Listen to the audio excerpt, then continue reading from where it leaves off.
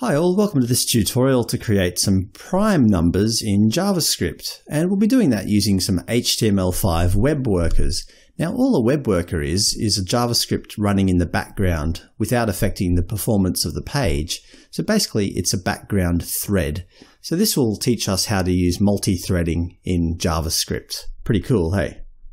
So open up our template so first of all, we'll need to get the user input, so we can use an HTML form to achieve that. So just before our script tags, put a form tag. We'll need to give it a name so that we can reference it in code. So just call it something like primes form. We also need an action, so that's what's run when the uh, submit button is pressed. So action will equal, we'll run a JavaScript function, so JavaScript colon with the function name, so find primes, for example, semicolon.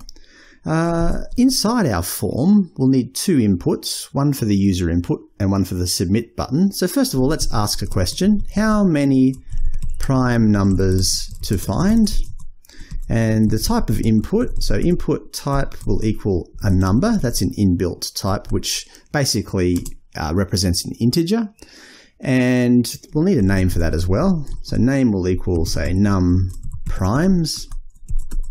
For the submit button, so that'll be another input, input type will equal submit. We'll probably want to change the default text, so we can do that via value. Value will equal, say, go.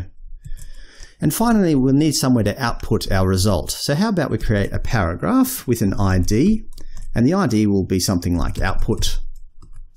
And that should do us for our form. So let's just give that a go. So open up a web browser, run it. Yep, there's our form. How many prime, I'll just make that a bit bigger. How many prime numbers to find, and we can select a number here. Negatives or positive, or you can type in a number. So if I typed in, for example, 3434.45 and hit go, yeah, there's inbuilt validation saying it must be the nearest value, so the nearest integer. And if I do try to run it, it, there's a reference error because find primes function does not exist. So let's fix that up now. So inside our script tags, let's create the function. So function find primes. First of all, we'd like to grab the user input. So let's create a variable called num primes, and that will equal, well, all form data is stored in the document. So we can go document.forms as an array. So we'll need to use the name of the form as the array element, just there. The second part, so the second square brackets will put the input that we want, which is num primes. So this is just a simple 2D array. And we need the value, so dot value of all of that.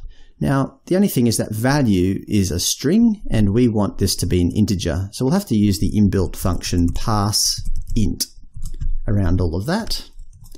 Now to test that this is all working, how about we output something? So we'll use this paragraph where the ID is output.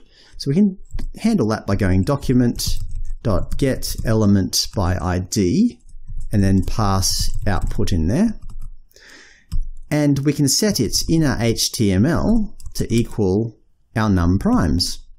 Just to make sure that it's an integer, let's add something to it. So num primes plus 3. Let's give that a go. Okay, so input a number, say 12, go.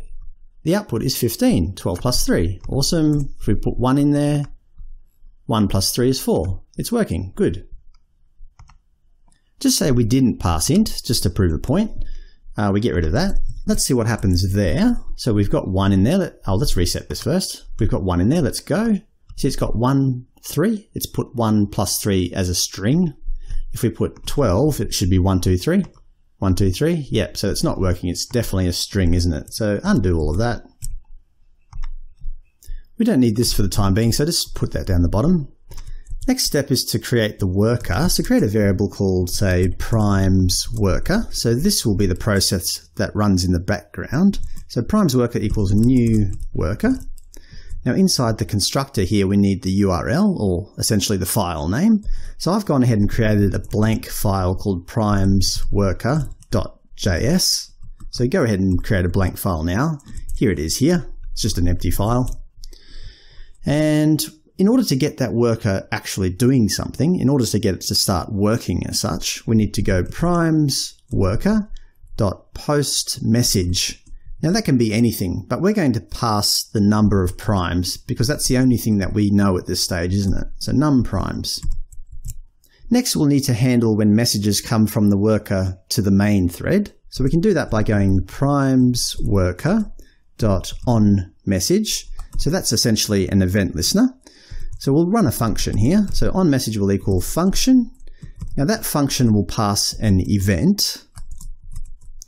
And what do we want to output here? Well, we just want to output whatever it sends us. So we can copy this line here and paste that in here. But instead of uh, equaling the number of primes plus 3, we want it to equal the event dot data. So whatever data the worker sends us, we're going to output to the paragraph. Now because we potentially will have thousands of prime numbers coming at us, we'll probably want to scroll the screen with us, so we can do that by going window.scroll to. Now it takes an xy coordinate, so 0, comma, we just need the bottom of the document, so document dot body dot scroll height, I believe, scroll height. That will probably do us for our HTML file. So remembering that we're posting a message to our worker and we're passing the number of primes, so head into our other file. In order to receive an event in a similar way that we've done already, we just go on message will equal a function. And that function will have an event as a parameter. We can grab the number of primes, so var num primes will just equal that event.data. How about just to test this to make sure everything's working, we'll loop over a number of times equal to the number of primes. So for let i equal 0, i is less than the number of primes, i plus plus. Let's set up a text variable. So var text will just equal an empty string.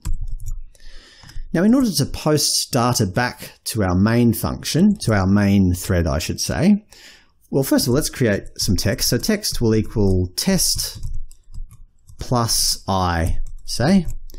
And to post that back we just can go post message, this dot post message, uh, the message will be text, and hopefully our main function will detect that. Let's give that a go. Test 11. Okay, we're only showing the last output. I see, we just need to concatenate those strings together. So we want to add all of our data to the same text file. Uh, because we're doing that, we'll probably have to add a space after that, plus a space. Let's just make sure that's working. Yep, that's looking good. Now what if we put 12,000 here? To make sure that the scrolling is working, let's give that a go. Great. So it's posting the message as it's working it out in real time, and the screen is scrolling to the bottom. That's exactly what we've set up. Can you see though that because we're posting a message each iteration, it's quite slow? Probably the actual calculation doesn't take that long. So we can go into there and fix that up. So we can just put a condition around this post message. So we can go if uh, i mod 100 equals 0, so that means every 100th iteration will post a message instead of posting a message every iteration. This is probably quite expensive to do this. Let's try it out anyway.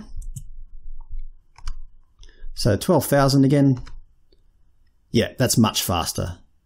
Can you see that we are almost oh, we are finished. It didn't take very long at all. So it's posting 100 pieces of information at a time. Great. Just to make sure that we've outputted all the text and to show that we're finished, we can just go text plus equals, let's put a couple of breaks, BRs, and just write something like finished, because calculating primes can become expensive. So we'll put a finished there, and we'll output the message one more time to make sure that we've got everything in the final output. Let's give that a go. Go. There we go. So it's gone up to 11,999 and its output finished. Perfect. Now let's implement our prime functionality, so finding the prime numbers. Because we don't really know how many times we need to loop in order to find the number of primes, we'll have to use a do-while loop. So that means we'll have to keep track of how many prime numbers we found. So var count will equal 0. And we'll also need to keep track of the actual number we're testing for. So x will equal 0. So let's set up a do while loop. So do all of that while the count, so while the count is less than our number of primes, we'll iterate over this. So first thing we'll need to do is test whether x is prime. So if is prime, we'll create this function soon. If is prime x, then we want to increment our count. That means we found a prime number. And we want to add to our text string. So text plus equals x plus a space. We'll keep doing this condition here. And we'll have to increment our x value. So that means basically we'll keep we'll start x at 0, we'll keep incrementing it and looping over this until we find a number of primes that has been requested. So let's implement the isPrime function. So function isPrime takes a value, an integer. Now the first step is 0 or 1. 0 or 1 or negative numbers, primes must be positive integers, or negative numbers are not prime numbers. So we could say if x is less than 2, return false. Now by definition, 2 is a prime number. 2 is a prime number because it's only divisible by itself or 1, only evenly divisible by itself or 1. So if x equals 2, return true. Now we have to check for each divisor. Just a note, mathematically speaking, there's no need to check divisors greater than the square root of the value, so greater than the square root of x. So first of all, let's calculate the square root. So square root will equal math dot square root of x. And we'll have to loop over each possible divisor. So we'll use a for loop. So for let the divisor, so div, equal 2. Any number that's uh, divisible by 2 is not a prime number except 2. So let div equal 2. Div is less than or equal to the square root. We don't need to go above that. Div plus plus. So if the x value is evenly divisible, so if x mod the divisor equals 0, that means it's evenly divisible, there is no remainder, then we'll return false it is not a prime number. So if it gets through all of that, it is a prime number. So otherwise is prime. Return true. Let's give that a go. Hopefully it should work. Just change the number of primes to, say, 10. Go! Oh, we've got an error. Reference error. i is not defined. Line 14. Line 14. Oh yes, we don't have i anymore. That was from the previous code. We'll change that to x. So if x is uh, evenly divisible by 100, we'll post the message. Let's give it a go now. Great. So 2, 3, 5, 7, 11, 13, 17, 19, 23, and 29. They sound like prime numbers. Let's go up to 100, or go up to, say, 500. Good. It's working that out well. And finally 10,000. Go.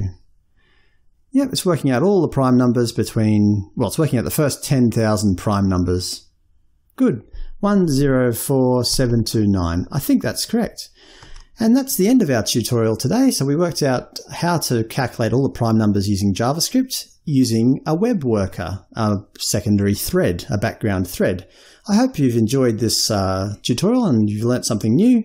Until next time, talk to you then. Bye.